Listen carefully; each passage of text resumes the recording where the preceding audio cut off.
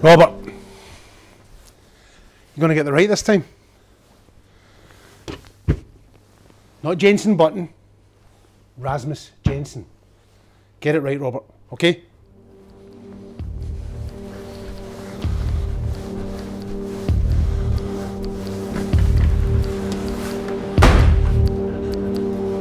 Diva.